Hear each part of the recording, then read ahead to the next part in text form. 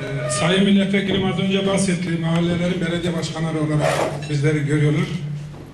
Daha önceleri belediye başkanı ilk toplantısında bizi böyle onurlandırmıştı. Sizleri muhtar değil, belediye başkanı olarak görüyorum. Bölgenize hakim olun, birlikte çalışalım. Biz de o zaman çok onurlu bir, yani onurlandığımızı hissettik. Ne yazık ki daha sonra bizi muhtar olarak da görmedi. İnsani olarak da değer vermedi. Şimdi burada basın mensuplu arkadaşlarımız var. Biz birçok toplantıya katılıyoruz. Bakın Aydın'ın e, görsel basını olan ITV yok burada. Bu kadar muhtar var. Aydın'ın sorunlarını konuşacaklar. Bütün toplantılarda biz e, konuşmacıdan sonra hiçbir gazeteci bizleri dinlemedi. Bizim her partide veya her yer platformda konuşmalarımız oldu. Halk buna ulaşamadı.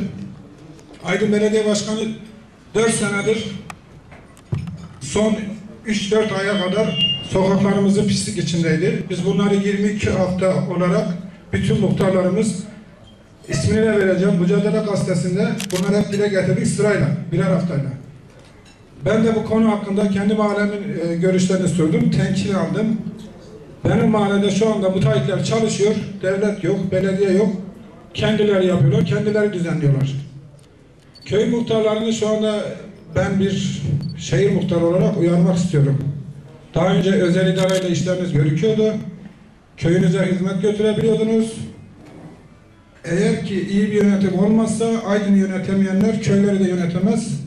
Bunun için e, kendi köyünüzü, vatandaşınızı düşünüyorsanız çok iyi hareket etmeniz lazım.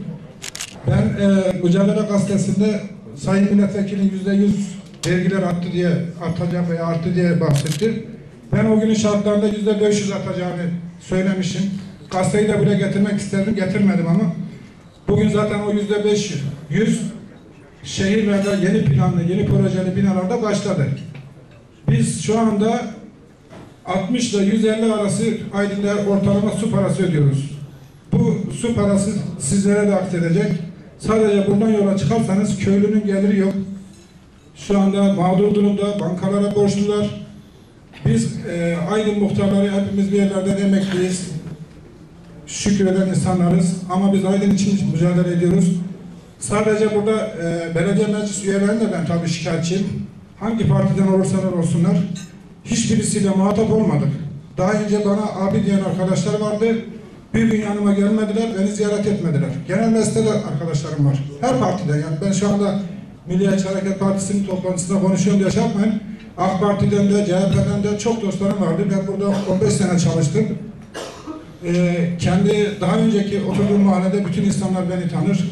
Ben Mimar Sinan Mahallesi'ne 6 aylık taşınmışken oranın muhtarı oldum. Bugün 40 bin nüfusum var benim. Demek ki muhtarlar çok değerli. Yani Cumhurbaşkanı da diyor ya benim yetkim yoktur muhtar kadar. Aslında muhtarların hiçbir yetkisi kalmadı. Yani devlette de yok, yerel yönetimde de yok. Biz kendi çabalarımızda halka yönelik yapmaya çalışıyoruz. Teşekkür ederim.